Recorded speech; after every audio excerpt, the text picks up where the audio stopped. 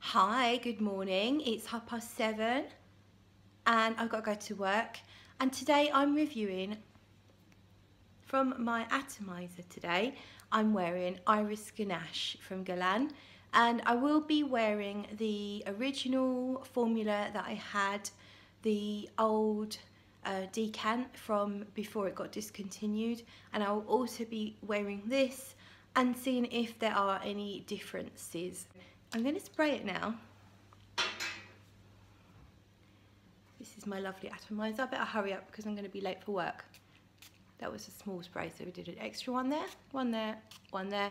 And then I will do my wrists off camera. But already it smells gorgeous. Caramelly, caramelly iris. It's kind of thick and sweet.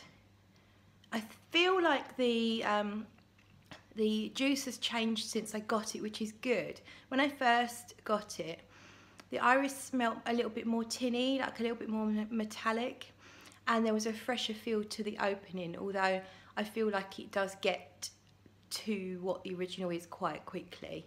So I think the only difference at the moment, I think the only difference is the age of the juice that I've got, but we'll definitely explore that in depth. So off to work for me and I'll catch you all in a bit. Hello, so it's the end of the day. It's 6 p.m. so quite a long time ago since I filmed this morning. It's 7:30 a.m. and Iris Ganache has been going strong all day long. It's definitely giving me a kind of caramel toffee feel along with that iris and it's kind of it's rich and resinous and warming. Bit difficult to explain how it smells actually I do feel like there's some kind of violet aspect to it, but it doesn't translate directly like a Parma violet. You just kind of get this slightly violety feel from it.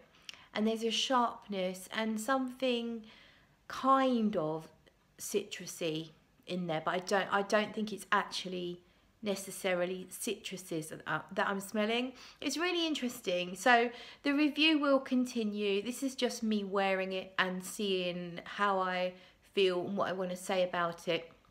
I'll come back with some more a little bit later but I'm going to do another spray now on my wrist just to refresh but this new stuff this uh, new formulation is really, really good. I say new formulation, it could potentially be, it probably is the original formulation, but it's fresh juice. That's what I mean, fresh juice.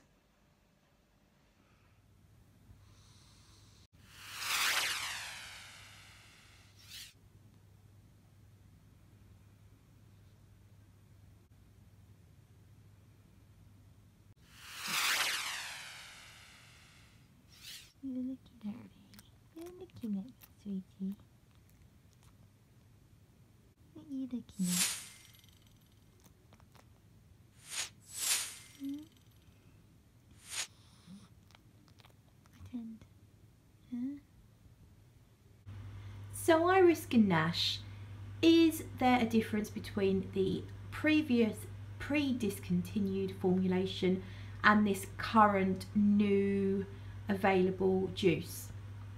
My conclusion is I really don't think so. I don't think the formulation's changed, but I do notice that when I use my old stuff, it's very rich immediately from the bottle, from the decant.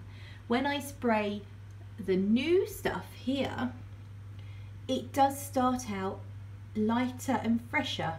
I can smell the iris more like you get in a modern fragrance. So a little bit more metallic, a little bit more noticeable. But it changes very quickly. Within five minutes on my skin, I really can't tell the difference between the previous stuff and this current stuff. So I don't think you should be afraid if you are a lover of Iris Ganache, do not be afraid to go ahead and get this new juice. It is really, really stunning.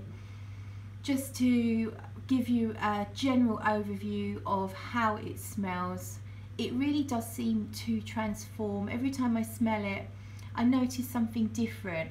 I never used to think it was that chocolatey, but there is this kind of light, almost abstract milk chocolate powdery thing that I get a whiff of here and there with it.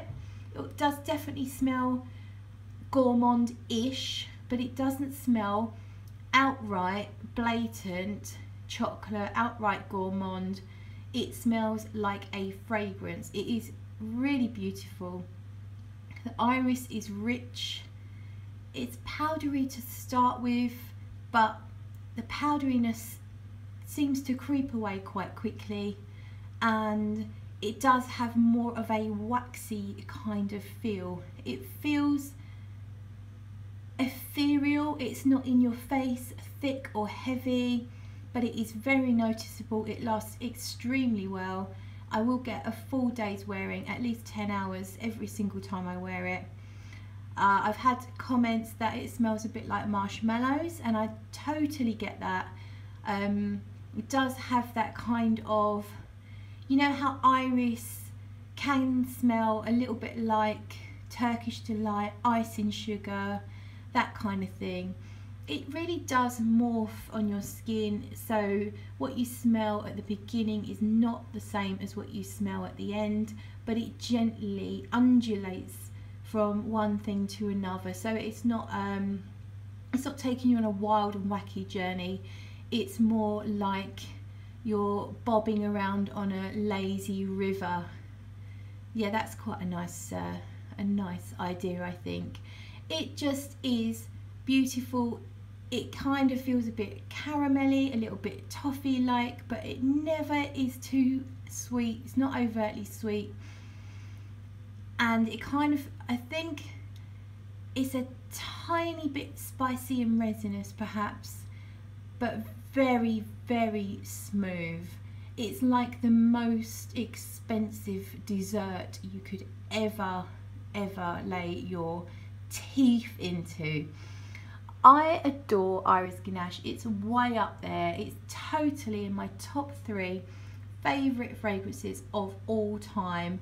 I really, really love it. And I love the presentation of the B bottle and that uh, they give you that lovely atomizer too. That's a really nice touch. Atomizer feels really quality and heavy and it does the job, just what you need. So that's my review of Iris Ganache. I hope you like my little background of Smurfs and perfume and cherubs and stuff. Thank you for watching. Sorry that I've been away for a little while, but I've been busy house hunting, so more of that later on.